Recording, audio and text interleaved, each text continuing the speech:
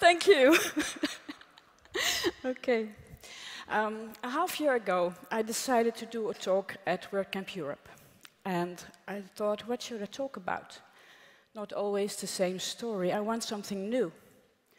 And I asked it to my fellow humans at Human Made, what shall I talk about? And then the Honorable Ant Miller, he said, accessibility in the age of the headless CMS. And I thought that's a great topic, that's new, something I don't know much about, so let's research that. So I start reading up and looking at websites, one-page websites, and then I realized, oh my God, I need to learn React. And that's really way out of my comfort zone. So I started learning React. I'm not an expert, I'm really a beginner. We have the real experts in our firm, but I have a lot, got a lot of support. And while learning, I discovered there are three topics I need to address. One is the DOM, what really is served to the user. The other is dynamic content.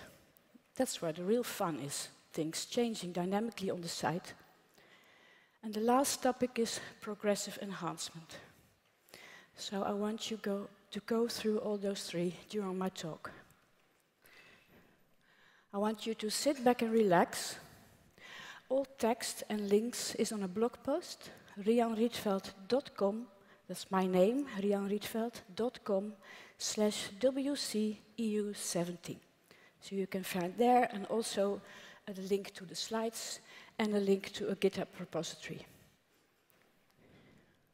First, the DOM. What's the DOM? If you are a developer, you inspect your page. And then you see the processed HTML5, the CSS, and the JavaScript. And that's the API that's served to your browser. Not only to your browser, but all devices that interact with the website. So that's the DOM. Code is poetry.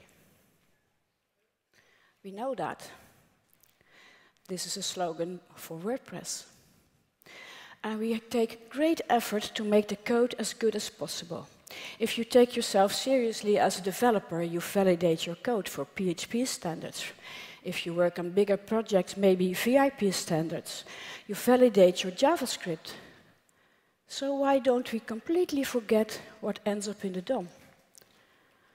That's uh, like a forgotten child.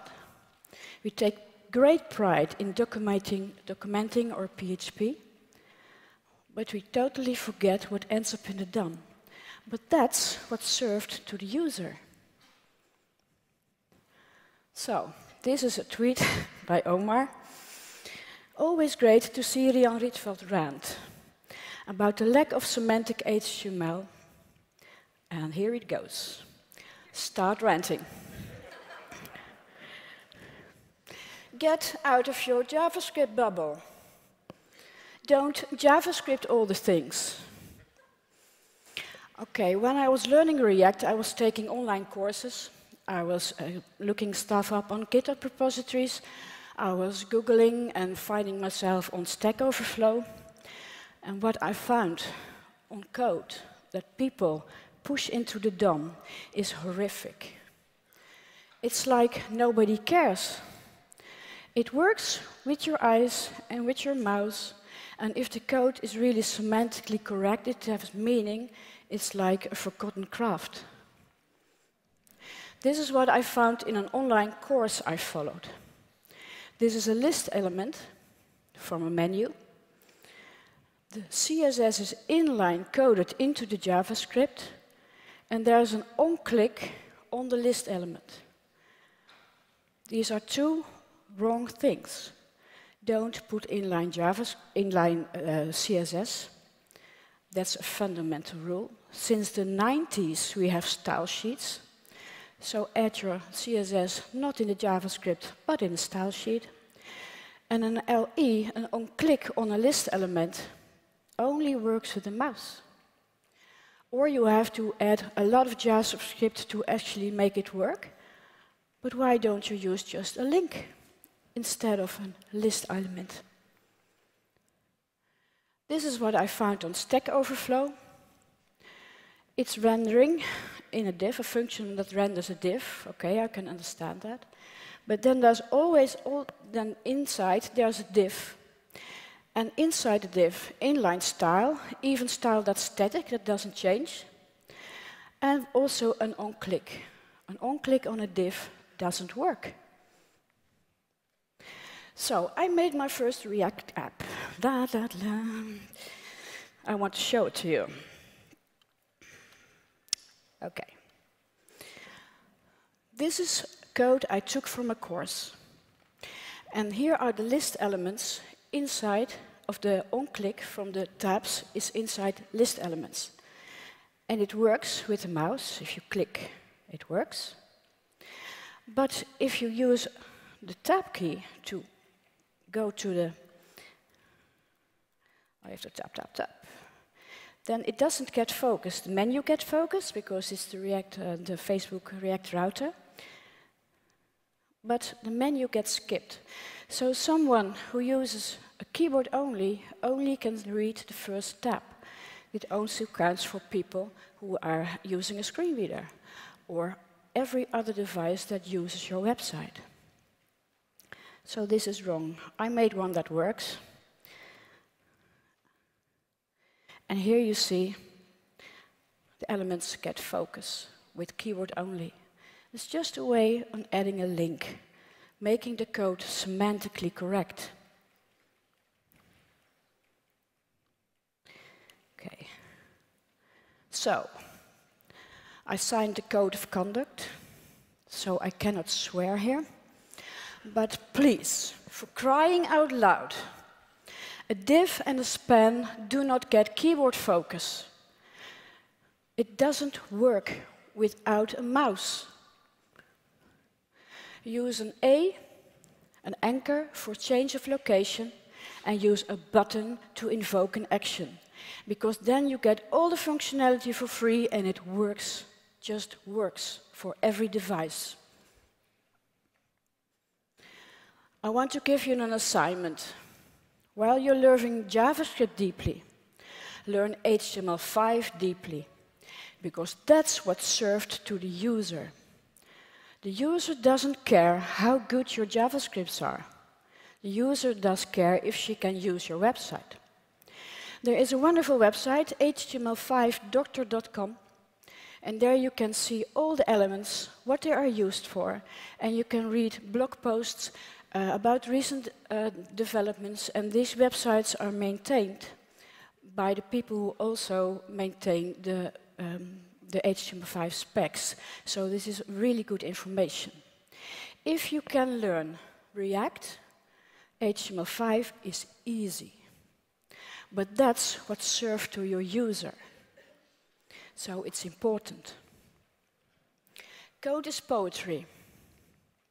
Take pride in your workmanship. And rant. Okay.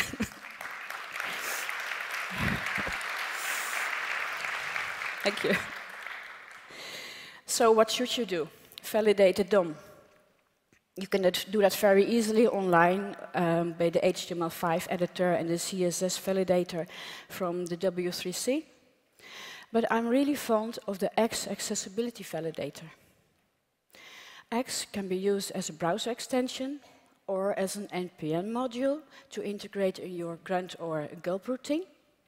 And it gives you very good um, errors or warnings what things are wrong accessibility-wise, but also in the semantics of your code. So I want to demonstrate this to you. Oh.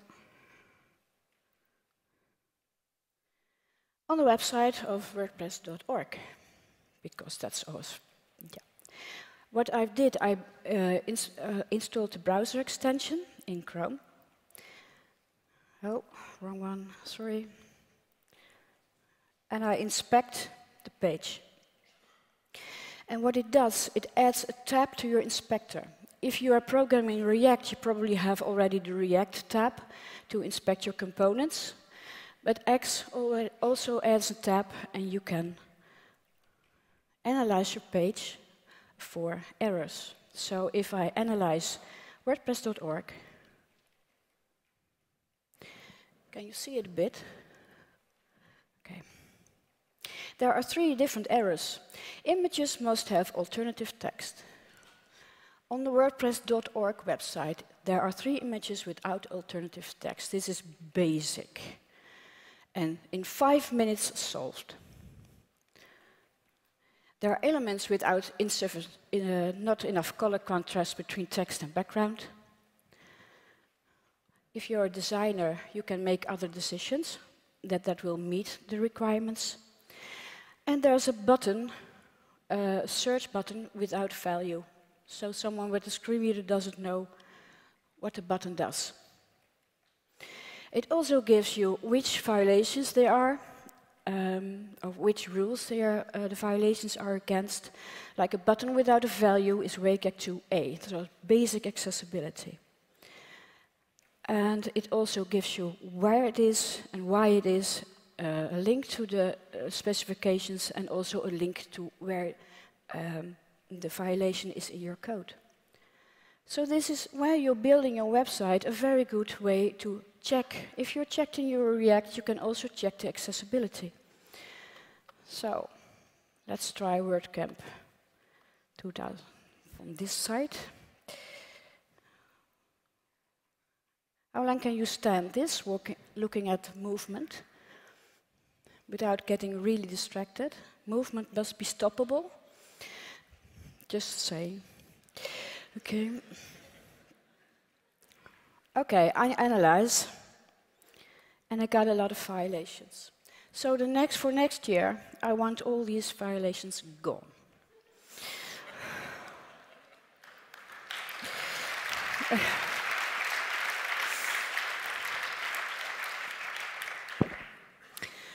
okay, this is how you test.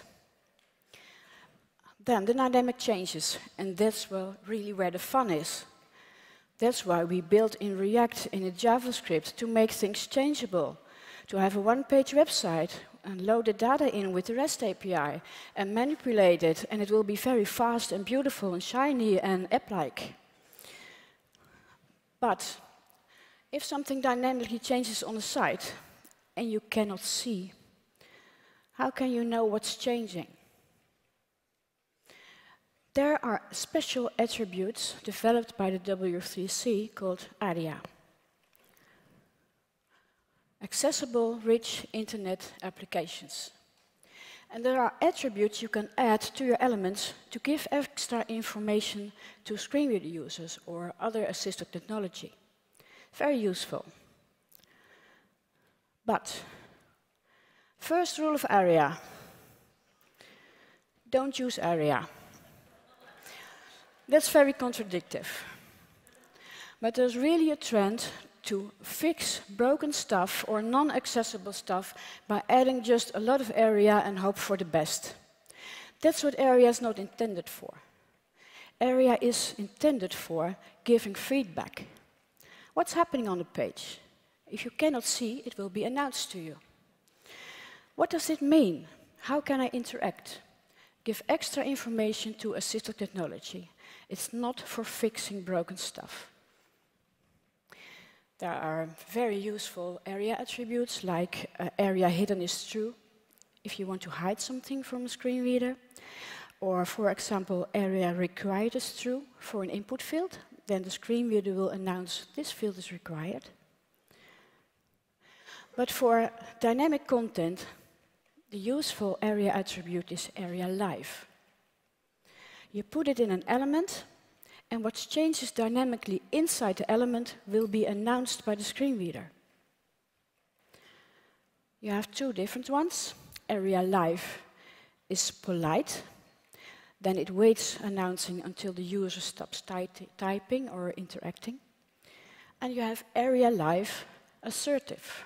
Then it's in your face. When someone types, it immediately announces changes uh, when they happen. What, which one you use depends on the application you're building. Um, I want to demonstrate this, and I hope this works. I made a video. Oh, wait, I can stay in. Okay. This is an example I stole from Graham Armfield. Sorry.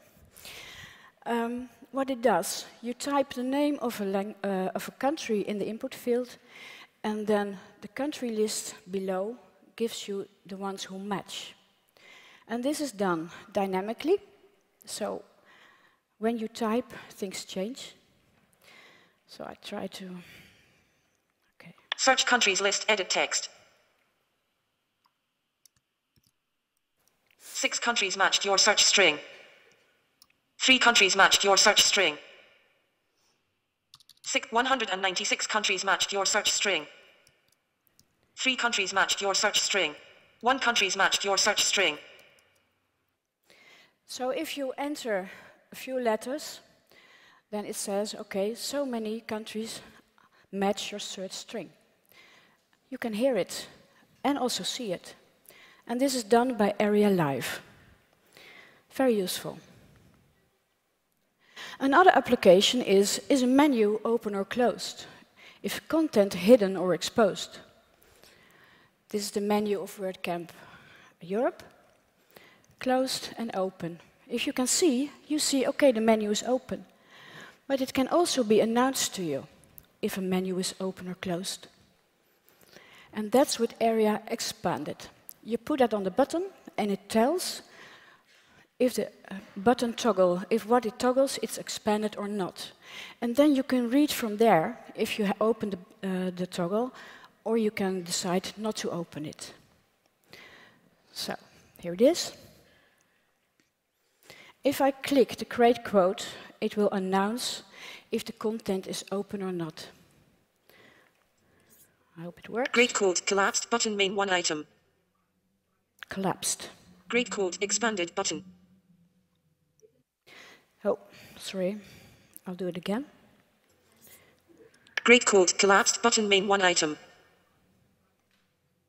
Great quote expanded button. And then you can read further if you want. Great quote expanded button. Make our planet great again. M dash. Emmanuel Macron. Emmanuel Macron on YouTube image. Okay. Make our planet great again. Your president. Excellent. So that's ARIA.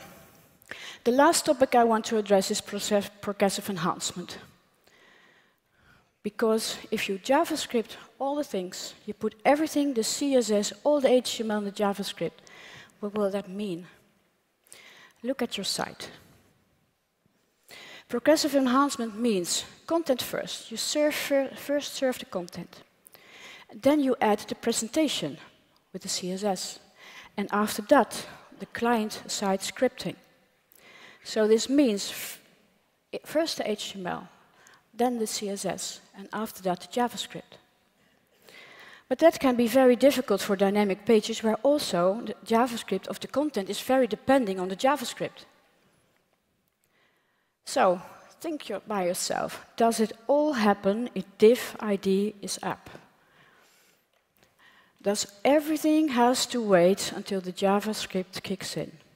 If you have a slow connection, or are you in the metro, for example, then you have to stare at the screen for a few seconds and then your visitors will be gone. So what should you do? Look at your site. What is static and what is dynamic? And make a decision. This should be in HTML5, just static. And what should be dynamic? Build your HTML5 framework first. After that, add the, C the CSS kicks in. So you have to have the CSS separate and out of the JavaScript because the HTML5 loads very fast, then uh, the CSS kicks in and the user sees the markup and decide what changes dynamically and add that as components to your site. And also serve initial content. So make it so that the user already has something to see. And then you can replace that content by your React or whatever JavaScript framework you're choosing to do. This is essential. serve your user first. These are the HTML5 design principles from the W3C. Users over authors, over implementers, over specifiers, over theoretically purity. Your user first. Are you building this big fancy app and you're really proud of it and you've got a high status as really good JavaScript developer? And you're totally ignoring what's in the HTML or how your user will experience your website. Who are you serving? The user or your ego? I think that's the main thing at the moment. This is a Dutch tile. Ja, Joost is laughing. okay. Niet omdat het moet, maar omdat het kan. And that means not because you must, but because you can. Look what I can do. I can build this very complicated app. Not because I must, because I can and I want to show off. I was, um, I was making these slides and my son was looking over my shoulder.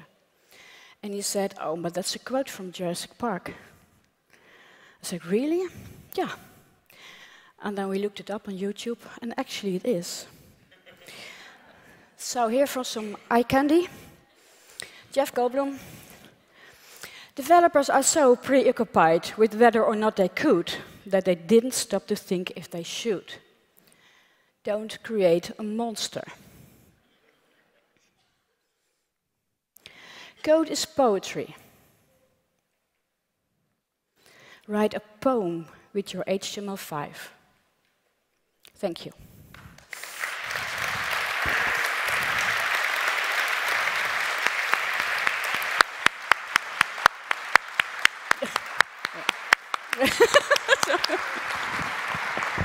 Thank you so much. We are so lucky to have people who have the, the expertise and also the courage to stand up and, and tell us the direction that we all kind of know we need to go in. But thank you so much for guiding us through this work.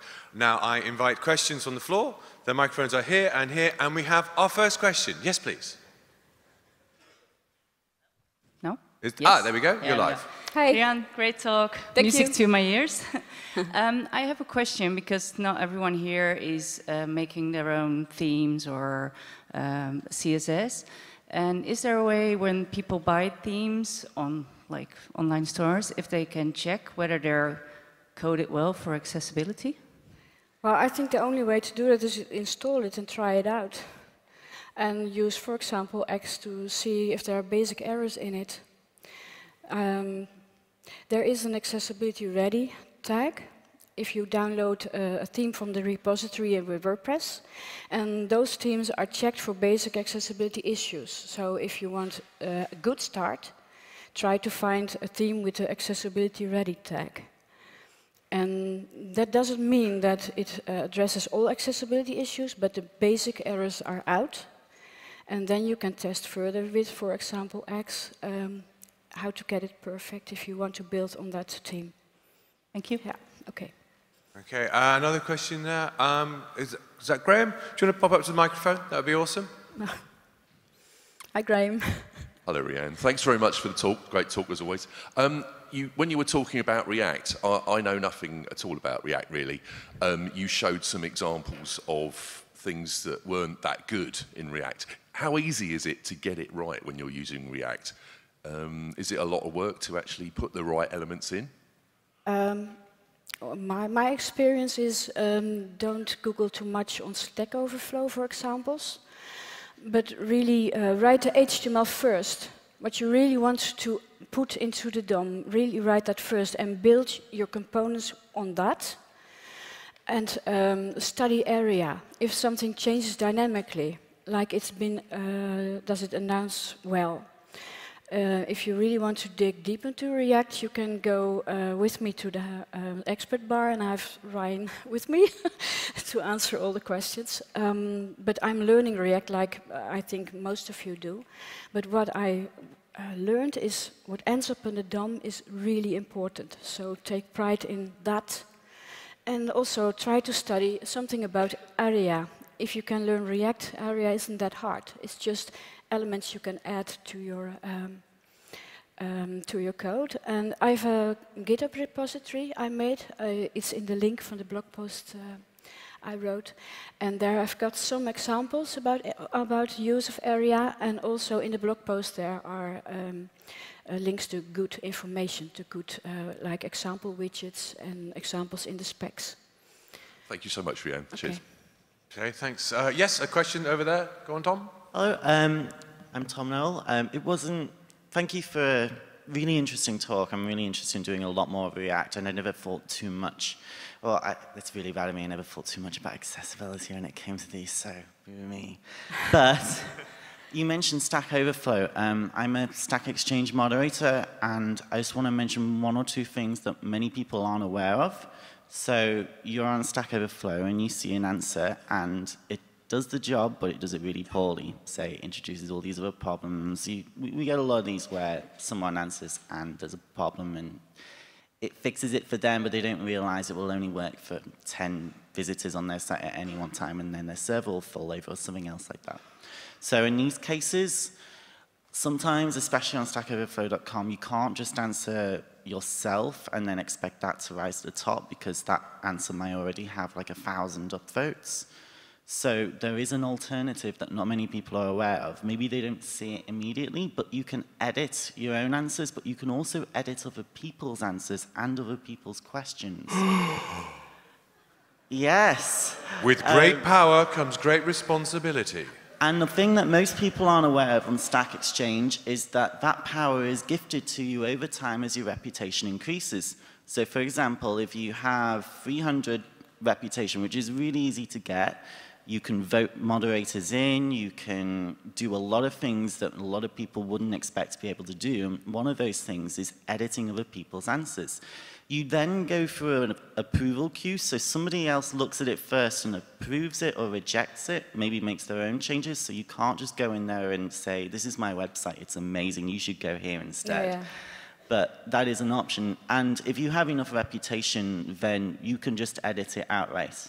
Um, so you can, you, can, you can actually edit wrong answers in Stack Overflow if your reputation is good enough. Is that what you want yeah, to say? Yeah, so for example, at the moment, um, I am a moderator on the WordPress Stack Exchange, but before I became a moderator, I had enough reputation that I could go in and I could fix things like typos, um, formatting, and other changes. Okay. At that point, other people can go through and see exactly what you've changed. So if you've ever had your answers edited or your questions edited, you know exactly who did it and what they did.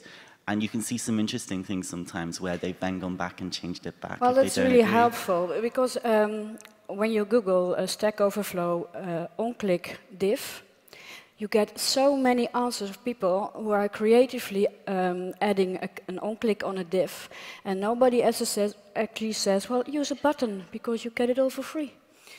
So it's like uh, there's a lot of uh, lack of knowledge of really semantic HTML. And yeah, how do you get a good reputation? Just answer a lot of good questions, of, uh, good, give good answers? If you ask a question and it's voted up, you get reputation. If you ask a question and you mark an answer as correct, okay. you get rep. If okay, now ev everybody study HTML5 deeply and go to Stack Overflow and correct all the answers that are wrong. your answer doesn't have to be marked as the answer as long as it has some upvotes, you'll get reputation. Yeah. The other thing is you can downvote questions that get it wrong and you can comment on them and people can vote your question up. So yeah. you have, sometimes you'll have answers and it'll be, a, it'll be the correct answer, but it will have lots of problems. And there'll be a comment underneath saying, no, you really don't want to use this, use the one below, it's terrible. Yeah. Okay. Thank you. You're just handing out superpowers here, sir. Thank you very much indeed, Tom. Okay. Uh, we have another question from the floor over here. Yes. Hi. Uh, thank you very much for your talk. It's really interesting. As a dev, often I will think about accessibility and screen readers and things, but then I won't ever be able to practically test it. Uh, what's the easiest way to get a screen reader? Which is the best screen reader and to do the kind of examples like you had? Test your work? Yeah, as I like to get a screen reader to actually read it back to me to make sure it works. Um, no, I'm, I'm really not a, a good um, screen reader um, user. I use VoiceOver to test stuff. Um, and it must be announced well in VoiceOver. Like Um, well, uh, actually, the, the, first thing I do for testing is keyboard testing. See if I can access everything with keyboard. And uh, for voiceover, I use voiceover to see if it actually is announced well, in, in the right order, and if all the, the things I want to change are announced and work. Um, if you want really good advice on how to test with screen readers, you can see uh, Graham Armfield is over there. He knows a lot, and Adrian Roselli, who is in the next talk, he knows a lot too.